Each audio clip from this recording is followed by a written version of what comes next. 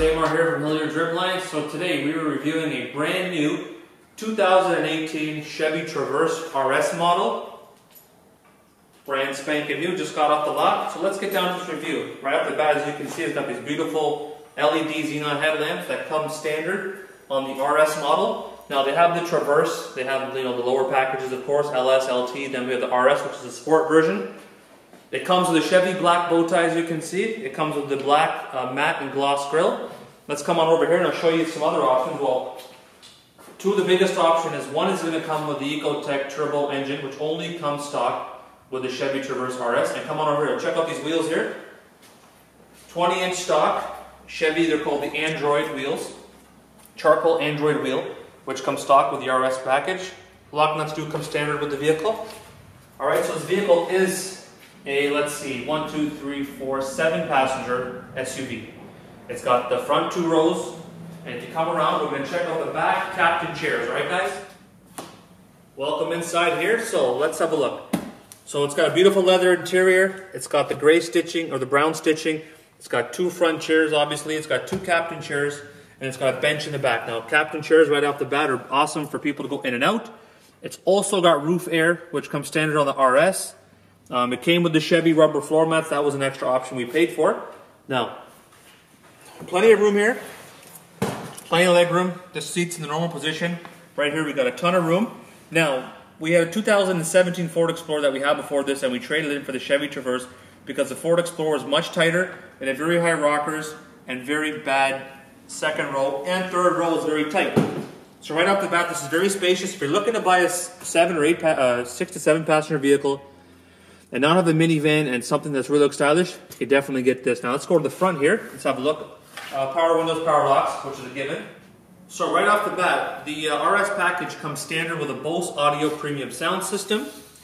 Okay, it is two-wheel drive, in the, so it's front-wheel drive, but it also has a snow mode and an off-road or an ice mode right there. A regular and a snow mode, cup holders, electronic parking brake, standard shifter. Let's turn the accessory on here. LCD screen, and on the RS, it comes stock with factory navigation. As you can see, it's loading. It's got all your options here. It's got the sound options, phone options, compass, as well as this, as well as the uh, camera. It also has hidden compartment in the back like the Cadillac Escalades. Now, the RS package comes standard with a gloss black piano finish. It has overdrive, AC included, obviously. Uh, steering wheel controls for volume and moving the controls forward. We have cruise control. Uh, this one right now is 1600 kilometers. Now I'm going to show you guys an option here. See, I'm going to start this up for a quick second. I'm going to show you the rear view mirror. Now if we can come inside and see the rear view mirror. Sorry about the noise guys, but the rear view mirror here has two options. Right now is a constant camera in the back that shows you exactly what's behind you or you can flick it forward and turn it back to the regular mirror. If not, you push the tab forward and it displays the screen all the time, which is pretty cool. Okay, we got uh, standard OnStar here, SOS button, Bluetooth hands-free. Now let's come back out here and give you the overall review of the vehicle. Like I said, we drove a 2017 Ford Explorer before this.